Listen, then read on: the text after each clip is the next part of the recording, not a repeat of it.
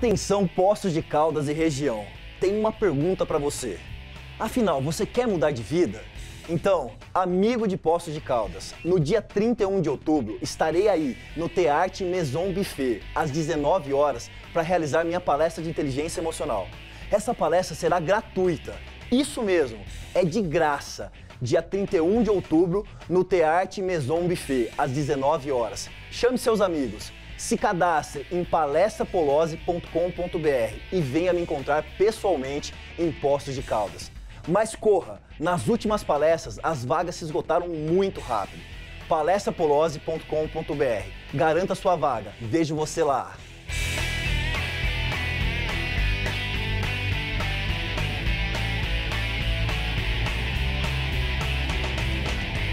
Bom, a expectativa é entender um pouco mais dessa dinâmica que ele aplica. Eu vi um pouco na internet que ele é um é uma pessoa que trabalha bastante gestão emocional e eu acho que isso vai fazer um grande diferencial na minha vida hoje.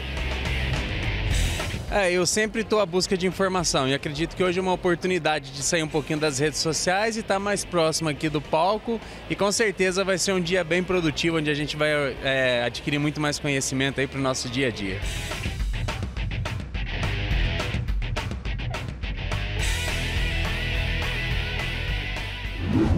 Vamos voltar agora para o nosso bate-papo.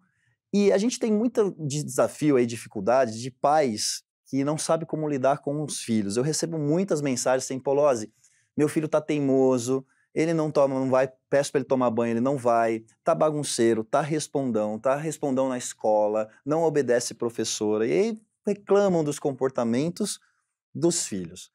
Como é que a gente pode ajudar esse pai, ou qual tem alguma técnica, alguma coisa aí para ajudar na mudança do comportamento do filho? Tem.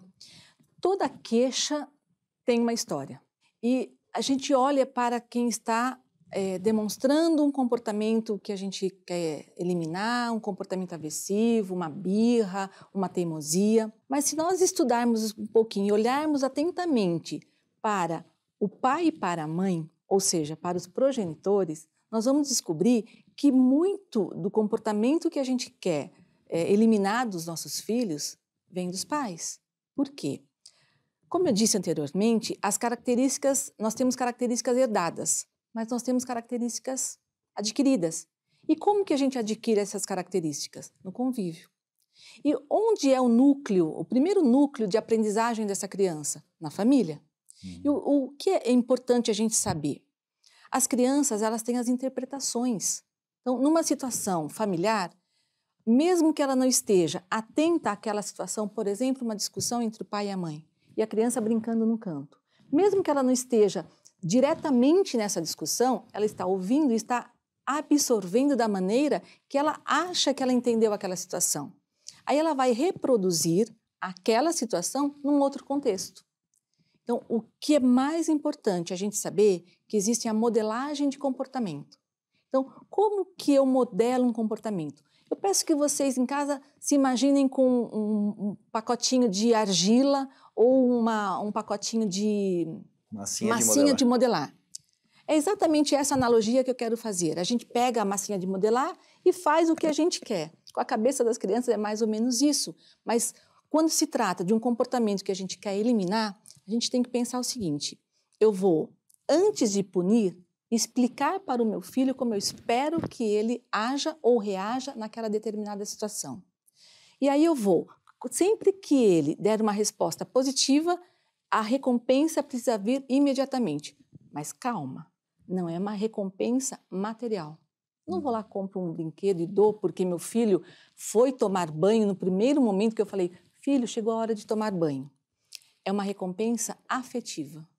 Muito bem, viu como você é capaz? Olha, não precisei falar tantas vezes para você tomar banho. Uma coisa importante também é nós trazemos como crença limitante que pau que nasce torto morre torto. Mas nós temos agora os estudos da neurociência e da neuroplasticidade que vai nos dizer o quê? O cérebro, o cérebro da criança e o nosso é plástico. Não é de plástico, ele é plástico. Significa que ele se modifica. Então, essa crença de que o filho, meu filho é assim, vai morrer assim, ah, puxou para a mãe. Geralmente, quando é um comportamento ruim, puxou para a mãe, né? Nunca. Puxou para o outro. Para o outro. Se é o pai reclamando, o pai vai falar que o problema é com a mãe ou da escola, né?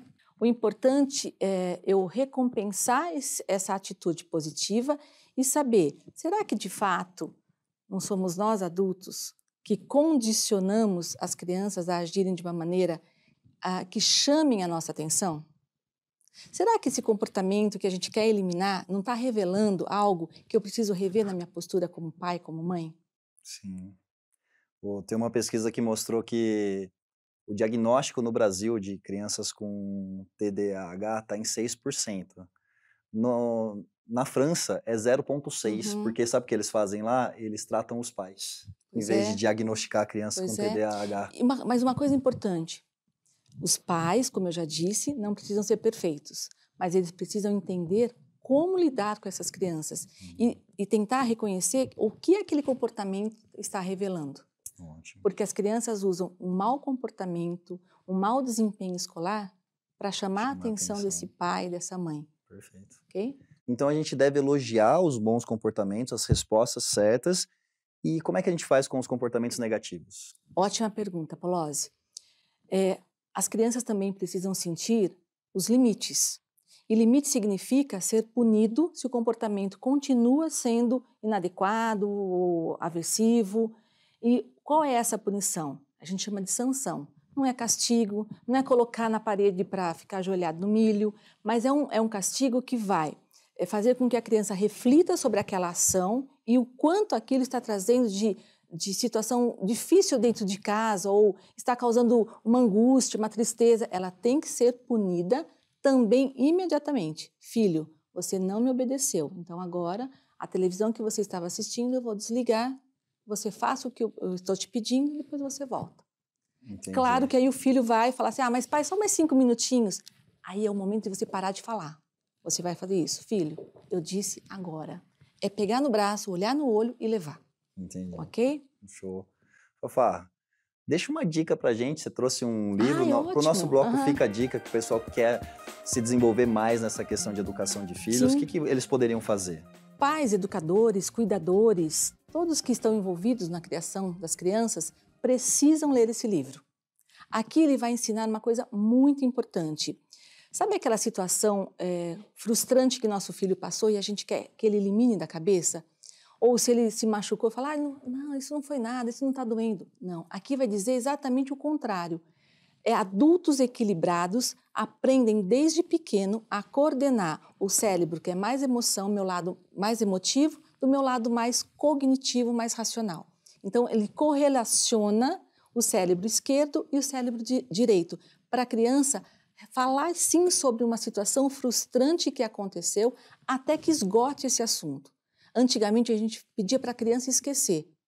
Hoje, depois dessa leitura que eu sugiro a todos que façam com bastante carinho, com bastante atenção, aprender a lidar com essas situações frustrantes para que a gente tenha, de fato, adultos que gerenciem mais a sua vida pessoal. Fantástico, Fafá, muito obrigado. Está aparecendo na tela os contatos da Fafá, Instagram, e-mail, para você, se você quer tirar mais dúvida ou está precisando aí de uma ajuda, Sim. fica à vontade, pode entrar em contato, que a Fafá vai ter o maior prazer em te ajudar. E eu quero te agradecer. Eu aprendi muito, tenho certeza que você está em casa, aprendeu muito também.